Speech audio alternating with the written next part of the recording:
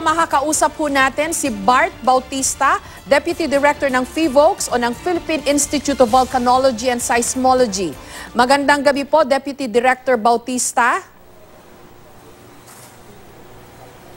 Magandang gabi, Jessica, at sa lahat ng nanonood sa GMA. Okay, as so far, uh, Deputy Director, ah, ang alam ho natin, ang pinagmulan, ang epicenter po nitong lindol na ito ay ah, Castillejo sa Zambales. And then ah, sa lupa, ah, nagmula ho ito hindi sa hindi sa dagat. So dapat walang ah, ah, worry of fears na magkaroon ito o mag-generate ng tsunami. And we also know na may mga aftershocks po kayong ah, naitala. Deputy Director Bautista, ano pa hong karagdagang impormasyon na dapat malaman natin as of this time? Deputy Director? Sa, sa ngayon, ang total number of aftershocks na na-detect ng P-Bolts ay umaabot na sa 57. Ah, lima dito ay naramdaman at ah, may magnitude ah, ranging from 2.5 to, to 3. Continuous pa tayong nagmo-monitor at ini-expect natin na darami pa to as time goes on. Ah, within a week, mag, pwedeng mag-last yung aftershock at aabot may isang daan ito. Mhm.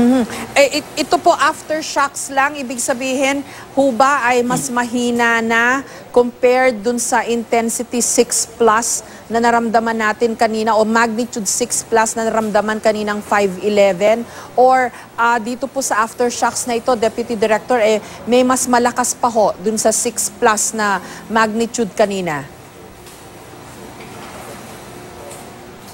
Ah, medyo mahirap po nating sabihin na magkakaroon ng malakas na aftershock. Isa sa ah, weakness po ng current knowledge natin sa earthquake science, hindi natin pwedeng masabi kung kailan magkakaroon ng mas malakas na earthquake o ito bang naramdaman natin ay foreshock at ang may susunod pang main shock. Mahirap pong masabi yan. Ano? Pero base sa nakikita natin geology ng lugar, wala tayong nakikitang malaking ah, active fault sa area. Ah, I, I would say na yung probability po medyo mababa. Pero hindi natin pwedeng i-discount na magkakaroon ng malakas. Mhm. Sabi niyo po walang active fault ah, doon sa may area po ng ah, tama ho ba sa Zambales although may nabanggit wala, po wala, ta, wala, ah, Jessica, wala, wala tayong mga lalaking active fault kagaya ng Philippine fault. Ah, most of the faults sa lugar maiksi lang. And then, y- base sa historical events, ah, highly diffuse ang seismicity sa area. Ah, kalat ito at ah, walang linearity na pinapalo. Pwede mo na pwede mong i-associate sa isang fault. Ah, at malaki, mara, makapal ang deposit ng mga bulkan, like yung deposit ng Mount Pinatubo. It's possible na kung may mga active faults sa lugar, natabunan na sila at hindi natin nakikita o hindi namamapa ng P-bolts. Oho. Eh yung tumama ho kaya sa Porac, ah, Director Bautista, kasi ganun na lang ho katindi, no? Yung, ah, yung damage, ah, may supermarket, may dalawang simbahan, may eskwelahan para ho, sabi ni Mayor De La Cruz, at may mga bahay din daw po na nasira, no? May active fault po ba sa Porac or ito ho ay ma-attribute din dun sa klase ng ah, lupa na meron sila no na ah, na sandy and then natabunan pa ng ash or lahar from the ah, eruption po ng Pinatubo? Ah, sa, ngayon po, pwede nating i-attribute dun sa na- nature ng ah, deposit, nature ng foundation. Ah, sa mga bulubunduking lugar, matigas ang bato. So, ini-expect natin na hindi masyadong mag-amplify yung ground shaking. Pero sa mga lu- lugar na patag, malambot yung deposito, ah, mag-expect tayo na mag-amplify po yung seismic wave dyan. So, it's possible sa po- Porac na amplify yung seismic wave kasi nandun siya sa lugar na malambot yung mga sediments. O ang tawag niyo ho seismic wave kasi ah, curious lang ako may yung yung description po kasi ni Mayor De La Cruz ng Porac eh para daw umaalon yung lupa. Ito ho rin ho kaya yon, yung seismic wave na yon? Ah, yung part na pag ah, nakikita mo yung lupa parang umaalon, yun yung tinatawag natin na surface wave. Surface Ah, wave. meron tayong tatlong klase ng wave. eh. Isa yung pu- ah, primar- primary wave, secondary wave, and then yung surface wave. Ah, mas malaki yung energy na nandun sa surface wave at ito yung nagkokos kaya nakikita natin na parang umaalon yung lupa. Mm. Ang movement din daw po, Director, Usually, eh, nasa tail end ng earthquake yon. Ah, okay. Ang movement din daw ho na naramdaman doon, sabi ho ni Sandra Aguinaldo, base ho doon sa mga nakausap niya, eh pa up and down. Dito po kasi sa Quezon, Quezon City kanina, ang naran- naranasan ko po mismo, pa sideways. Pero doon po, pa up and down. So it it corresponds with this kind of uh, earthquake po na tumama sa Porac, uh, Director? Sa- ma, ma, pa, mag-iiba-iba yung ah, mara- pa- pakiramdam natin, depende sa position natin. Ah, pag nag-propagate kasi yung wave, mauuna yung P-wave, usually mararamdam, mararamdaman mo ito vertical motion, Ah, S-wave, ah, horizontal motion, and then yung surface wave, ito yung part na parang umaalo ng pakiramdam mo. Tapos ah, slow ito, no? slow vibration. Aha. Yung mga unang dalawa, P-wave and S-wave or primary or secondary, high frequency yung mararamdaman natin dito. Eh, Director, pa, paano kaya yan? Ang Pero dami- ang mostly nakakakos ng damage yung surface wave. Okay. Ah, paano ho kaya yan? eh, yung huling eruption po ng Pinatubo, eh, ang dami hong lugar sa Central Luzon ang ah, natabunan ng lahar. So all these areas, ah, posible ho ba na vulnerable din dun sa nara- nararanasan ngayon o naranasan ng ah, PORAC, ah, Director Bautista?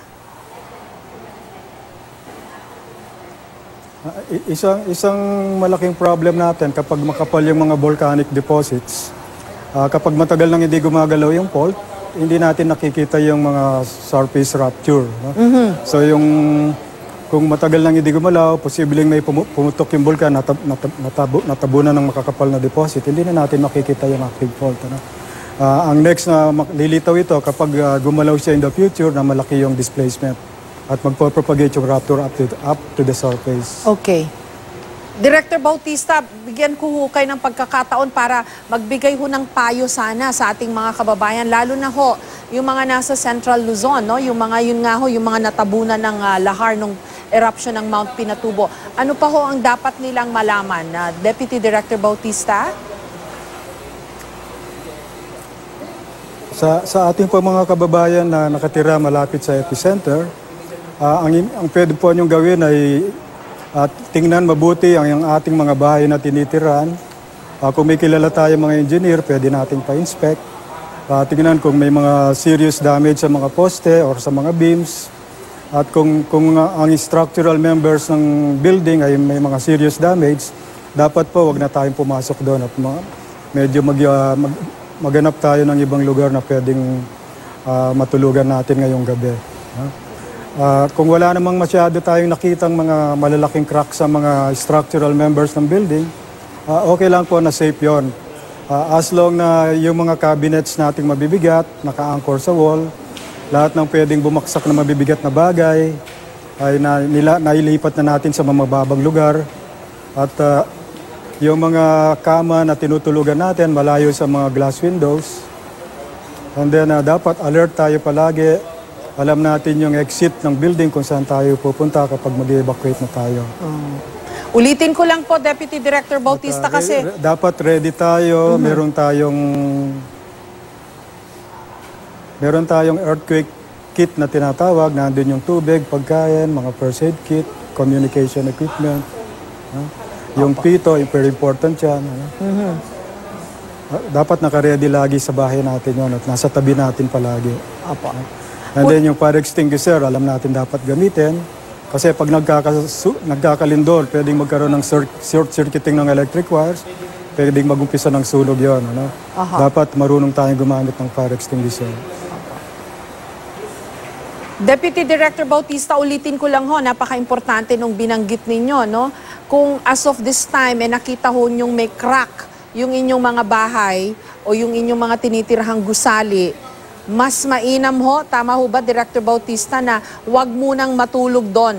Mag-tent muna sa labas or sa some area na mas ligtas po. Ah, kasi kailangan ma, mas, Tama- masiguro tama yan, muna na Jessica. strong o yung may, may in- structural integrity yung inyong mga bahay o yung inyong mga gusaling tinitirhan. Tama po?